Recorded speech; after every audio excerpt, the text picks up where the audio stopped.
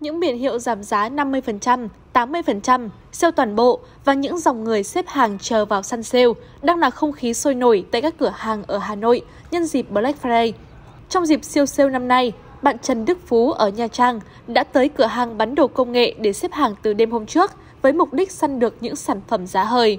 Đi ờ, săn hồi tối hôm qua mình đến đây ờ, sớm để tranh thủ lấy những ờ, cái món hàng mà mình cần nhất.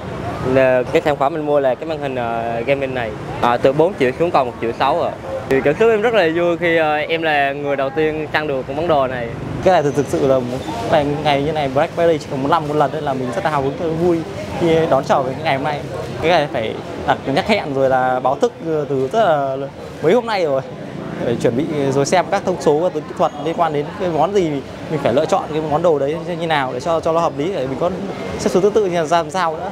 Cũng giống như Phú, với tâm lý muốn mua được những sản phẩm đẹp nhất, giá thành rẻ nhất và để tránh tình trạng đông đúc nên nhiều người đã tới các cửa hàng ngay từ sớm. Bình thường mấy cái áo là sẽ tầm khoảng à, 5 600 thì bình thường những ngày này thì sẽ sale tầm khoảng 350 300 thì nó sẽ rẻ hơn nhiều. Buổi sáng thì mọi người hay đi làm hơn ạ nên là em đi buổi sáng cho nó kiểu có nhiều áo hơn mà kiểu cũng cũng rẻ hơn nữa. Mua sắm trong dịp giảm giá lớn như Black Friday sẽ giúp người tiêu dùng tiết kiệm được một khoản tiền.